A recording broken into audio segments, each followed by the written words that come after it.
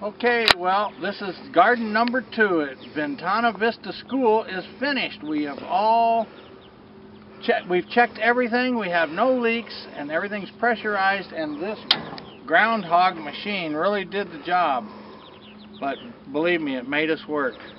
And there is the standpipes. Everything's insulated and all ready to go. So the fence company people are coming in next week and we will be ready for the children to start gardening. Thank you, Green Plumber from Community Gardens of Tucson. Hi, I'm the Green Plumber with these Community Gardens of Tucson. We're here at Homer Davis School.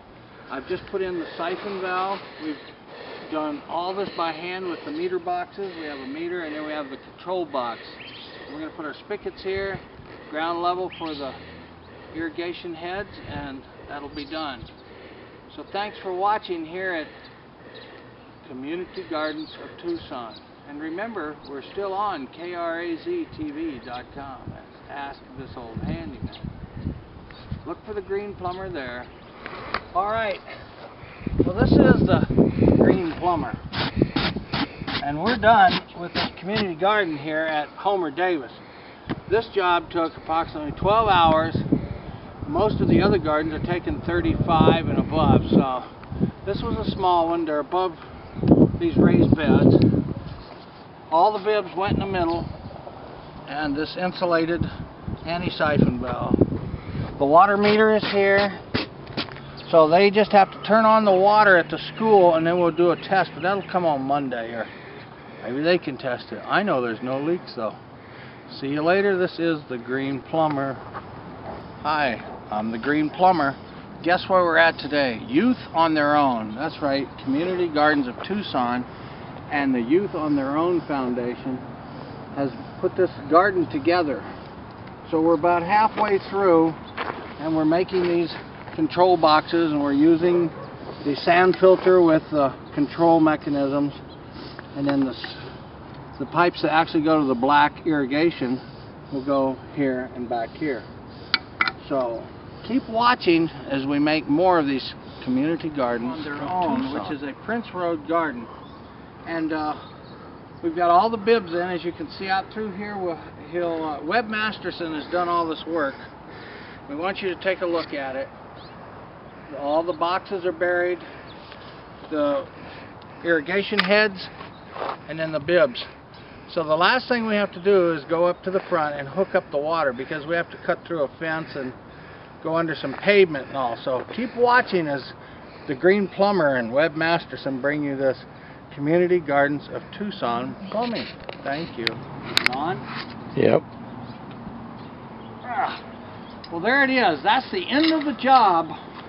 And we put the insulating pillow on it. We've tested it. The water meter is here. The garden is out there. This is the Green Plumber for Community Gardens of Tucson. Webb Masterson will now show you the last of it. And we thank him too. He did all the digging.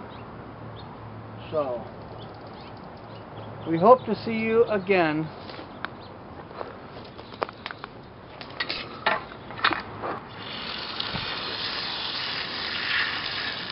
Well, there's proof that it works. It's all been tested. We've gone into the boxes and on these risers where it comes out with the low pressure, these have been tested also. You can see where the water is on the ground. And then the water pressure here is holding. So all the lines up through there are all pressurized, all the valves are on, and we have no leaks. Thanks for watching Community Gardens of Tucson. Okay, well this has been our real workhorse, except the guy who was running more gardens. Thank you, Webb Masterson, Green Plumber, and Gene Zahn. Well, hello. I'm the Green Plumber, and guess where we're at? Presidio Gardens, Community Gardens of Tucson. I'm going to take you on a little tour, but first I'm going to unload this groundhog, which Webb Masterson has used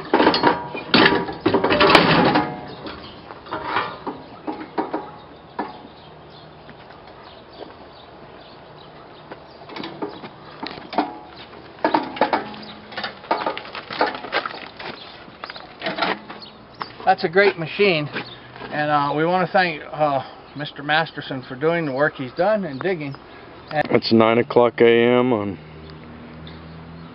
October 1st, 2011. And there's the machine we just delivered back to Presidio. through this uh, garden, you know, the, all the work that everybody's been doing is for stuff like asparagus, tomatoes, eggplant. What's this, huh? A lot of eggplant.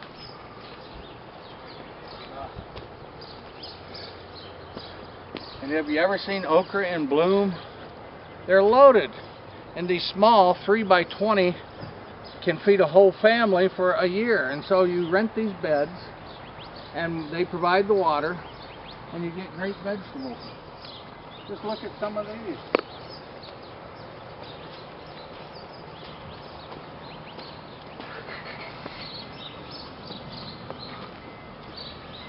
Just look at the peppers. They're falling off.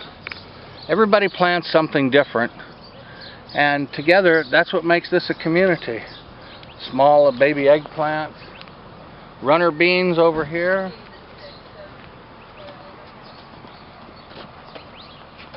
There's the bean and the flower. How about that, folks?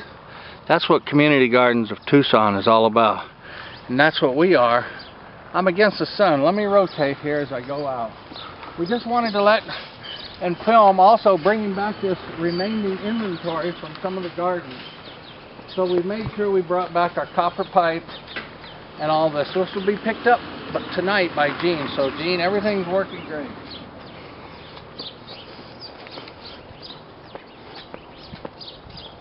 Asparagus.